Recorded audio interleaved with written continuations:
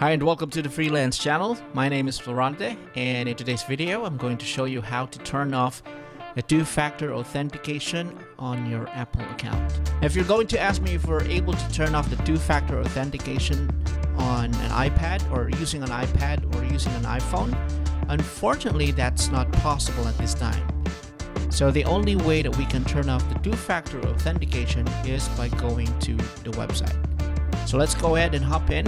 You will see right now on my screen that I already have the Apple web page and I just need to fill out the Apple ID and the password. So just go ahead and log in.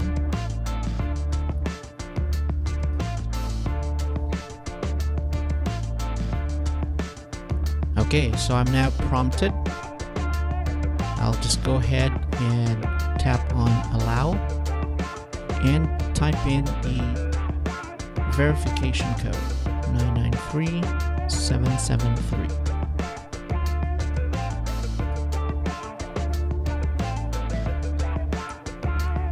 Okay, so right now, here in the security section, you will see that the two-factor authentication is turned on. So since we wanted to turn this off, what you'll need to do is go ahead and click on edit. Okay, once you click on edit, at the bottom section of the security, there is the turn off two-factor authentication. So I'll just click on that too. And then click on it one more time to confirm.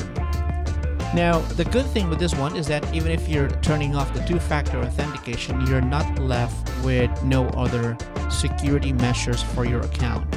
So you're still able to keep your account secure.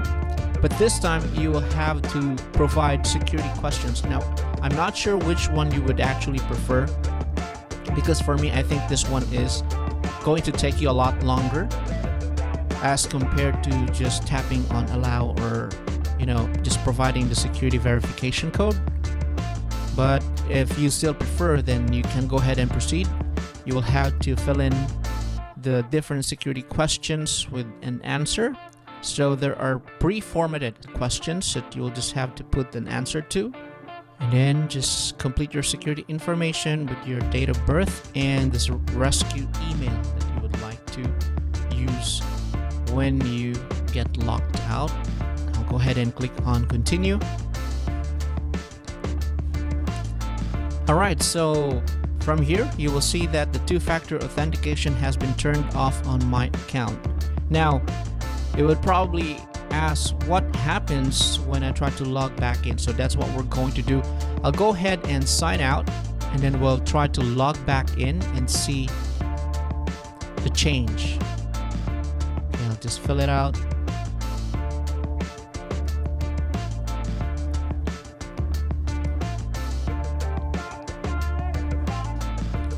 Okay, so you will notice that this time instead of the pin or instead of the security code or verification code, I'm now prompted to provide an answer to the security questions that I have set up earlier.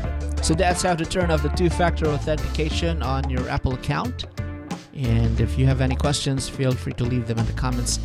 And if you have any suggestions for topics, then you can leave them in the comments. And if you haven't subscribed to our channel, please don't forget to click on subscribe. Thank you and have a great day.